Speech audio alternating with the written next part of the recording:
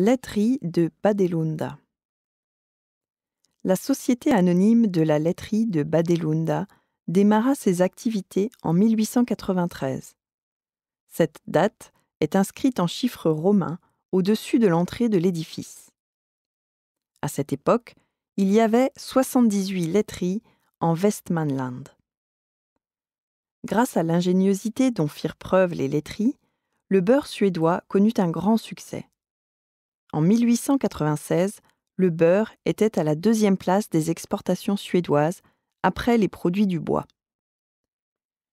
La plupart du beurre exporté partait de Göteborg à destination de l'Angleterre.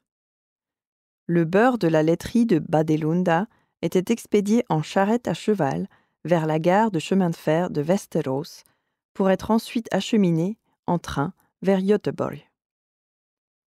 Au début du XXe siècle, un magasin fut également aménagé à l'intérieur du bâtiment de la laiterie. Les habitants de la paroisse disposaient ainsi d'un magasin doté d'un emplacement central avec à la fois téléphone et panneau d'affichage. La société coopérative laitière Landmännens Mjölksförsäljningsförening fut créée en 1915.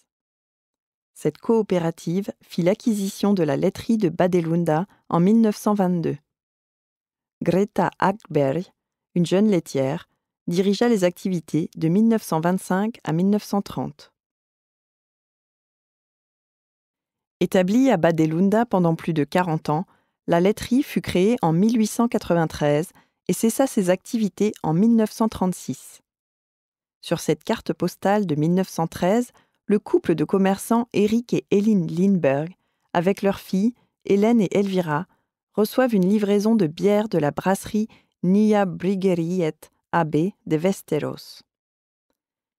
Habillée de blanc, la laitière Maria Elena Schell se tient à côté des membres de la famille.